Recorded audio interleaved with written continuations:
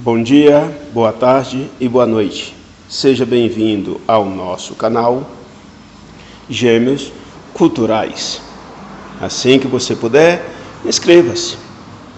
Depois, acione o sininho para você ficar sabendo das novidades.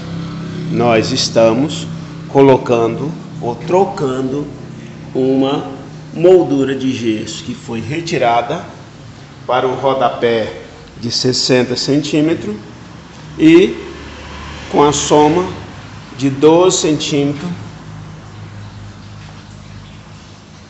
da peça de gesso. Tá? Aqui nós colocamos a massa de drywall. Essa massa colocada, ela vem pronta num balde. Você tem que colocar ela em toda a extensão da peça e depois aplicar aqui. Com um detalhe, você tem que deixar a massa aqui, que é para quando a outra vier, ela soldar, ela ficar equivalente. Você põe na base é, atrás dela, põe na borda para quando você prensar ela ser espremida e funcionar com sua liga e sua resistência. Então, desta forma, será colocado esses 16 metros de gesso por toda a borda, tá? com todo esse detalhe, ok? Como eu estava pondo massa atrás da pedra, aqui do, do gesso, tá? agora eu resolvi fazer exatamente ao contrário. Eu coloco ela aqui. Aí depois de colocada, eu risco. Eu risco aqui, ó. Porque assim eu coloco a massa e, e logo depois eu aperto e ela fica mais espremidinha e fica melhor para eu colar, tá? para eu colocar, para eu dar o acabamento. Então, são exatamente esse princípio que eu resolvi fazer um caminho inverso, ok?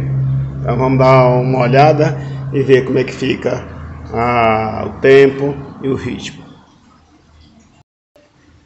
É, foi bem mais rápido. Coloca a massa aqui o acabamento? E aí sobra aquele pouquinho, eu já vou limpando a peça na parte de cima da parede que eu sujei. Tá? E aqui ela fica com esse acabamento. Mais essa parte aqui, eu faço aqui esse acabamento, entrando na parede embaixo dela e dando acabamento aqui. Ok? Se ficar ao lado, eu faço aqui, limpo o excesso, claro que depois tem a lixa, tem um polimento dele, tá? Mas de qualquer forma ficou bem melhor fazer dessa forma. Tá? Esse aqui é um detalhe importante. Eu deixo esse excesso aqui, porque quando secar a emenda, ela fica fundida. Aí eu passo a lixa, tá? Devagar, tiro o excesso e não dá muito para ver a emenda, porque ela está mais alta. Como eu vou lixar, vou passar um, uma lixa de leve, ela desaparece enquanto emenda.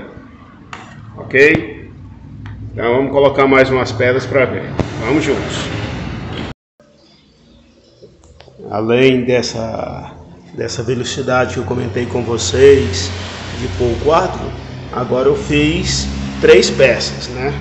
Olha aí. Marquei, cortei os ângulos certinho aqui de encontro, mais esse aqui também, tá? E risquei com lápis aqui, ó. Então risquei com lápis porque agora eu vou colocar a massa de colar o gesso exatamente com três peças e não mais com uma como eu estava fazendo. Assim, finaliza toda essa parte e fica uma parte bastante bonita. Como antes era um gesso fino de 6, agora ficou o dobro, ficou de 12, né? Então, ah, esse ficou uma sensação muito boa.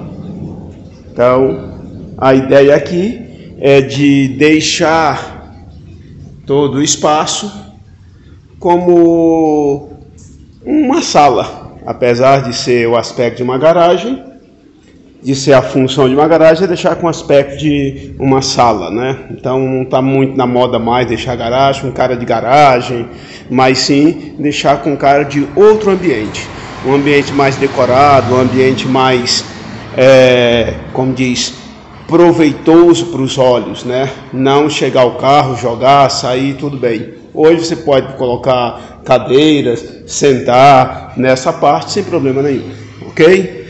Portanto, Tenha bons pensamentos e ótimas atitudes. Seja bem-vindo ao nosso canal Gênios Culturais.